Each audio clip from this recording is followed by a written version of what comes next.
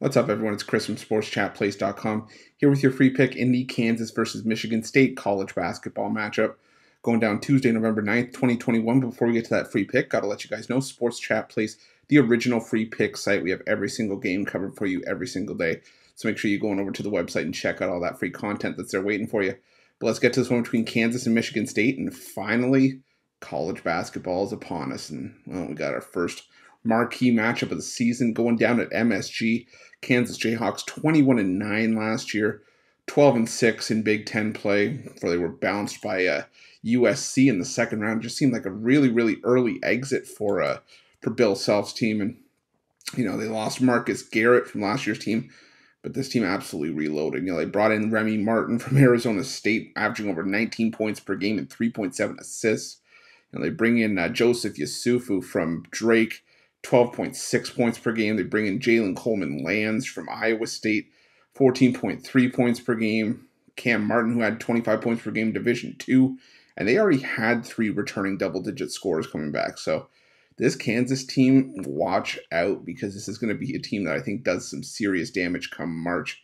Meanwhile, the Michigan State Spartans, you know, not as not as lucky, you know, coming into this season in uh, you know, I, I don't want to say rough shape, but you know, I mean, the, the, the roster's been in better shape. But they were 15 and 13 last year, 9 and 11 in the Big Ten, got to the uh, NCAA tournament as well. But it was it almost feels like a crime that Michigan State and UCLA were in the first four, and that one of those had to go home. And unfortunately, it was Michigan State. But uh, you know, you look at their team for this year. The only returning double, sorry, the only double digit score from last year was a transfer. Tyson Walker coming in from Northeastern had 18.8 points per game. But there are still, you know, some solid pieces on this team. Joey Hauser had just under 10 points and 5.6 rebounds per game. You know, uh, uh, Marcus Bingham as well.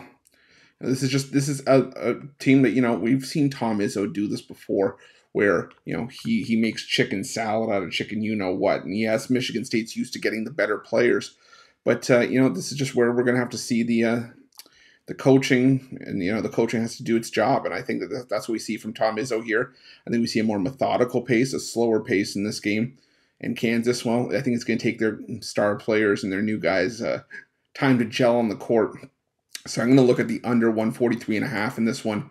And I see uh, some defense being played here, and that's going to be my free pick. But if you're looking for best bets for myself or any of our other world class handicappers, check out Sports Chat Place Premium. Thanks for watching. Don't forget to subscribe and drop a like. Let's cash some winners.